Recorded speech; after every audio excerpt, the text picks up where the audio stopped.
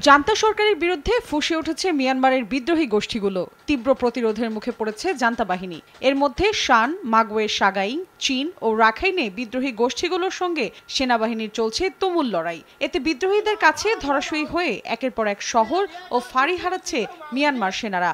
পাশাপাশি চীন সীমান্তবর্তী এলাকা থেকে পুলিশ ও সেনাদের হটিয়ে দিচ্ছে বিদ্রোহীরা। দুপক্ষের সংঘর্ষে বেশ কয়েকজন সেনা সদস্য নিহত হওয়ার খবর পাওয়া গেছে।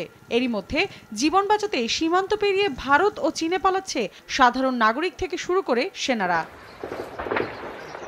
জান্তা সরকারের মুখপাত্র জানান, মিয়ানমার সেনাবাহিনী, শান কিয়া ও রাখাইনে বিদ্রোহীদের তীব্র প্রতিরোধের সম্মুখীন হচ্ছে। এ পরিস্থিতিতে দুপক্ষের মধ্যে চলমান সংঘাত বাড়তে থাকায় মিয়ানমারে জরুরি অবস্থা ঘোষণার জন্য সরকারি কর্মকর্তাদের প্রস্তুত থাকতে নির্দেশ দেওয়া হয়েছে।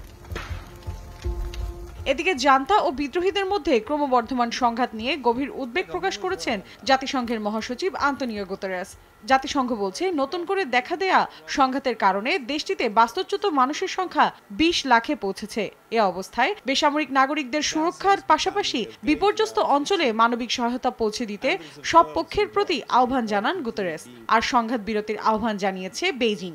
ব্যাংক থেকে নগদে অ্যাড মানি করে প্রতি সপ্তাহে জিতুন মালদ্বীপে কাপল হলিডে প্যাকেজ।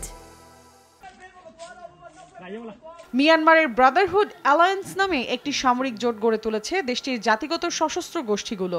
চলতি বছরের অক্টোবর মাসের শেষ দিকে operation one zero two seven নামে সেনাবাহিনীর বিরুদ্ধে সমন্বিত হামলা শুরু করে তারা। ব্রাদারহুড অ্যালায়েন্স গঠিত হয় Myanmar national democratic alliance army MNDAA, Ta'ang national liberation army, TNLA ও আরাকান আর্মির সমন্বয়ে। তাদের হামলায় সহযোগিতা করছে জান্তা বিরোধী বিপ্লবী সরকার ন্যাশনাল ইউনিটি গভর্নমেন্ট এনইউজি এর প্রতি অনুগত পিডিএফ গোষ্ঠীগুলো। মৌসুমি সাথী, সময় সংবাদ।